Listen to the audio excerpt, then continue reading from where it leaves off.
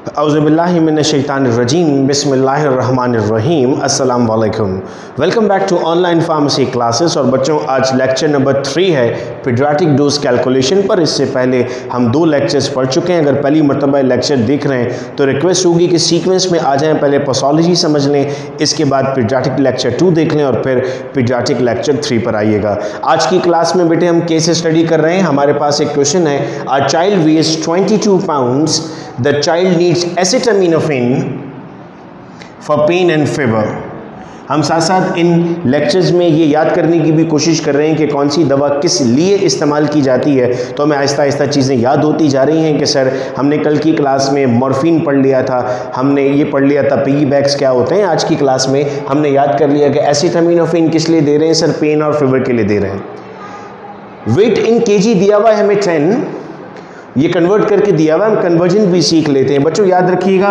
एक के में 2.2 पाउंड्स होते हैं। तो आप इसे कन्वर्ट कर लेते हैं कि 22 अगर आपके पास पाउंड है तो कितना केजी होगा? ये 10 केजी बनता है। वैसे सवाल में दिया गया है। अगर नहीं भी दिया जाएगा तो आपको पता होना चाहिए। फिर रिकमेंडेड डोज भी सवाल में दिया गया है। रिकमेंडेड डोज है 10 टू 15 मिलीग्राम्स एम जी पर के जी पर डोज ये भी नहीं दिया जाता कभी कभी इम्तहान में, और हमें बींग अ फार्मासिस्ट देखो इस, इन वीडियोज़ को दो एस्पेक्ट्स में देखो आप। एक तो आप अपने एग्ज़ाम्स के लिए देखोगे, आपको पेपर में ये सवाल आते हैं एमसीक्यूज के फॉर्म में, तब तो आपको ये दे दिया जाएगा और आप उसे सॉल्व कर लेते हो।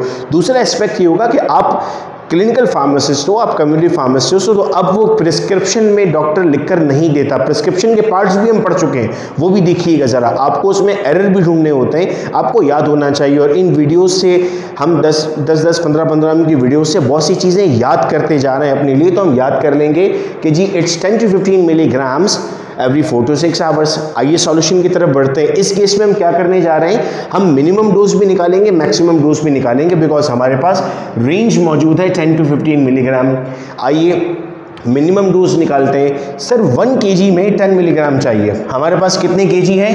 टेन तो टेन के में कितना चाहिए होगा? Ten multiply by ten answer is hundred milligram so hundred milligram is the minimum dose आइए मैक्सिमम डोज पर।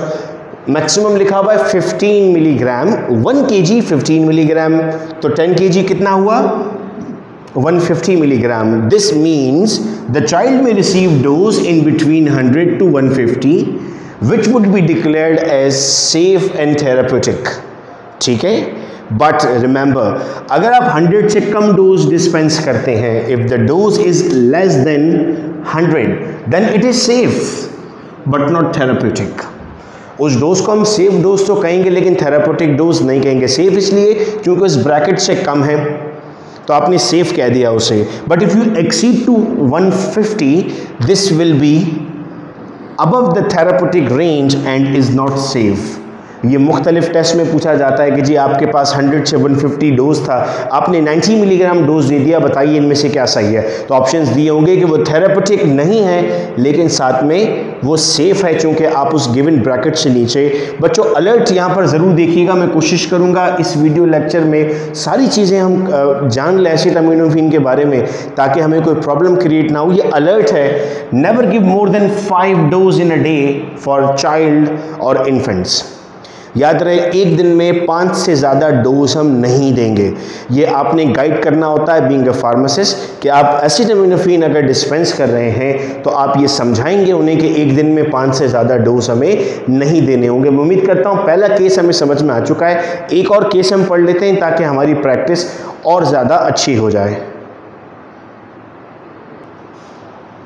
जी स्टूडेंट्स तो इस वक्त अब स्क्रीन पर एक और सिनेरियो हमारे पास मौजूद है। ये हम उन क्वेश्चंस को डिस्कस कर रहे हैं जो प्रैक्टिकल लाइफ में हो रहे होते हैं, मुख्तलिफ़ हॉस्पिटल फार्मेसीज से इन क्वेश्चंस को हम लेकर आपके सामने डिस्कस कर रहे हैं। अब एक क्वेश्चन है you have to calculate the safe and therapeutic dose for a child who weighs 36 pound और 36 पाउंड को ऑलरेडी कन्वर्ट होकर मिला है हमें 16.4 लेकिन हमने पिछले सवाल में कन्वर्जन सीख ली थी।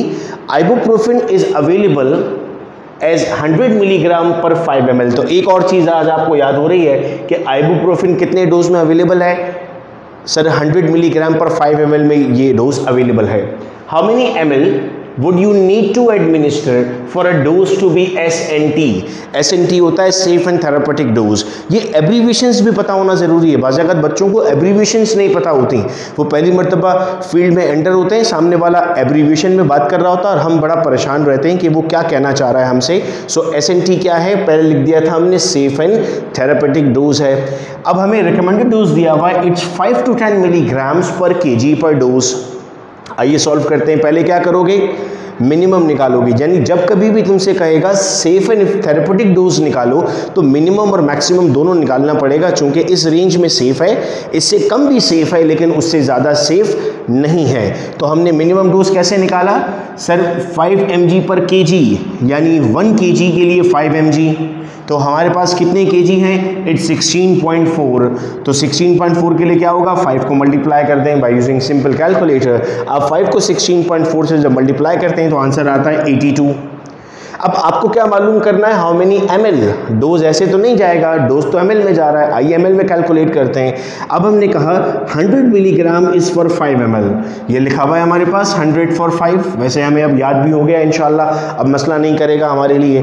तो 1 मिलीग्राम क्या होगा? 5 डिवाइडेड बाई हंड्रेड 82 कितना होगा? यहाँ पर 82 मल्टीप्लाई हुआ तो यहाँ भी मल्टीप्लाई कर दें। 5 multiply by eighty two divided by hundred, answer आता है 4.1 पॉइंट यानी जो आपको मिनिमम डोज देना है, वो 4.5 पॉइंट है, सेफ़ होगा। आइए मैक्सिमम डोज पर। 1 के के लिए कितना हो गया, सर? 10 मिलीग्राम। तो 16.4 के लिए कितना होगा? स्ट्रेट अवे 164 वैसे इसका डबल भी है ना?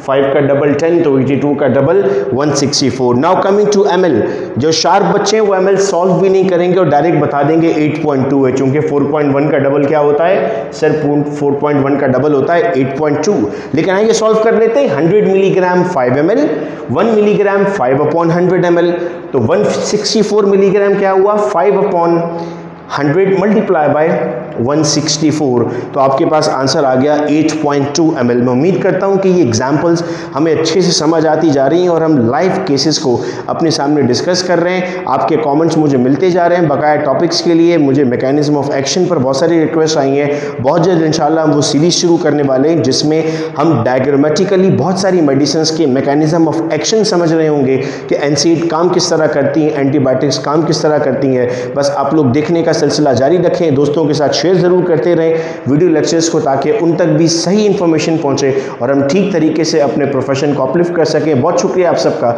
इस वीडियो लेक्चर को सुनने का। अपना बहुत ख्याल रखिएगा बच्चों, आप सब लोग। अल्लाह हाफिज़।